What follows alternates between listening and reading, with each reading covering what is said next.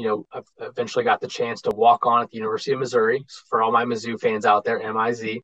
I don't know how many you know Missouri listeners you got on there, but um, had the chance to walk on and and you know, like many people, when you're kind of you feel like you're in the zone, you feel like you're in the sweet spot in life. You're you are um, things are going great. You know, that's kind of where I was my freshman and sophomore year, and life was good. And I felt like you know I was right where God had me.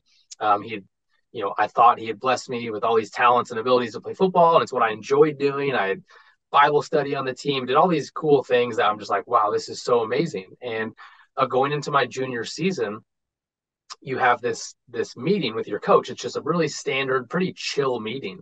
And I walk into this meeting room, and usually there was only one coach, uh, but this time there was three, so that was different. And I, I walk in and I sit down, and one of the assistant coaches uh, he gets up and he closes the door behind him, and I'm thinking that is not a good start to this meeting. Whatever is about to go down, and uh, and so we're I'm sitting there like my mind's kind of spinning what, what's about to happen, and and one of the coaches, the recruiting coordinator, he says, Alex, I want to shoot you straight. We have over scholarshiped at quarterback. We're bringing in a kid to take your spot.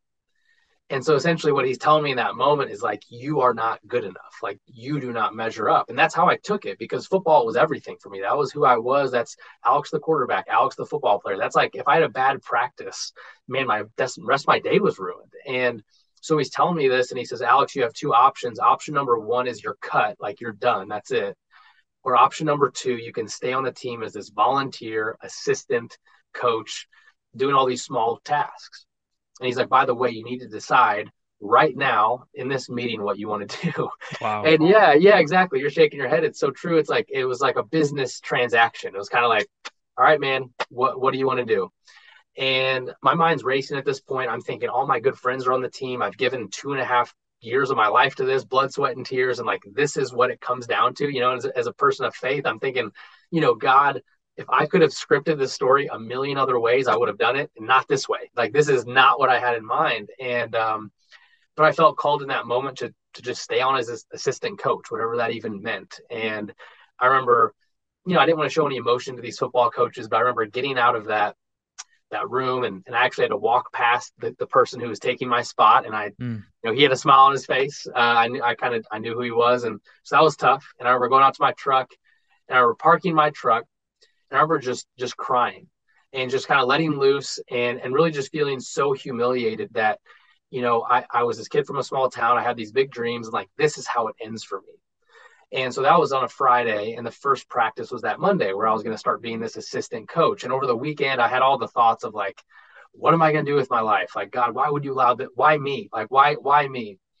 And i was feeling sorry for myself. I was mad. I was angry. Like all the emotions that you that you do and that first Monday was the uh, that next Monday was the practice, and you know I'm like, you know what, I got to make a positive out of this. So I, I I show up to the practice, and I'm thinking, you know what, I've been part of this program for a few years, so maybe they're going to give me like this big coaching role. Like maybe I'm going to have this huge responsibilities they're going to give me. I'm going to be up in the press box calling plays and all this stuff. Like that's what I'm thinking as a junior in college, right? I was very wrong. Uh, so I walk in, and the first day, and one of the assistant coaches, he was like, Alex, you know, come here. I want to show you what your job's going to be. And I'm like, sweet, man, you know, give me that free swag, that free gear. Well, I walk in, and he literally hands me this yellow flag, like what a referee would throw. He hands me this flag, and he says, Alex, what I want you to do is when someone jumps off sides in practice, we need you to take this flag and throw it down. And and the worst part is he demonstrated how to do it twice. Like he he walked over, picked it up. He's like, and then you throw it down. I'm like, okay, I I think I can manage that. you know, I, I, didn't say that because I didn't want to be sarcastic, but in my mind, I'm like, what is happening right now?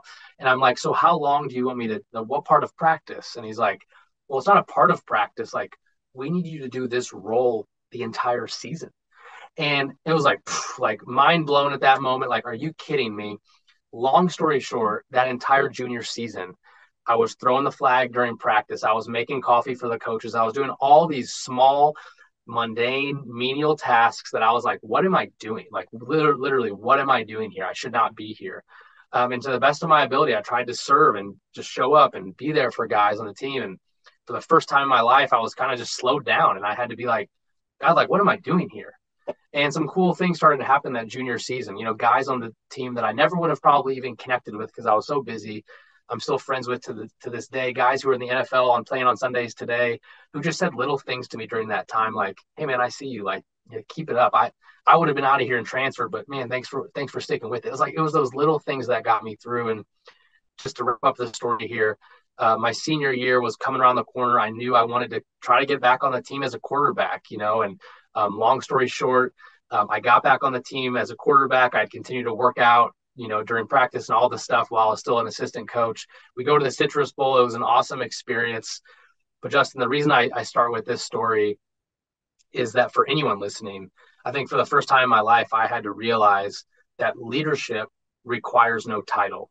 You know, and doing showing up and being excellent. And I didn't do it perfectly, but just trying to add value every single day, day in and day out. Like, man, I didn't need, even though I felt like I was stripped of any title, I learned, you know what, it's not about that. I don't care we always hear the, the, the kind of the thing of you know it's not it's not about if you're the CEO or the janitor, right? And I, I kind of felt like a janitor. I was like, what what am I even doing here? You know, but man, just to see the impact in that way. And so I just want to encourage your listeners, um, as I am preaching to myself, it's like you never know the trials that you go through, how you can be used in those situations. And I truly believe, to answer your question in a full circle way, I wouldn't have gotten into speaking and writing books and doing all these things. I don't even know if I'd be on this podcast with you right now if it wasn't for me being humiliated in that way and, and coming through all of that. And so, sorry that was a long winded answer, but I really feel like it is impactful for your listeners to hear that they're going to experience trials. We all will. And then the question is, man, how how are we used in those ways that so that they don't uh, define us, but they mm. refine us in that way? That's so good. No, that's such a powerful story too.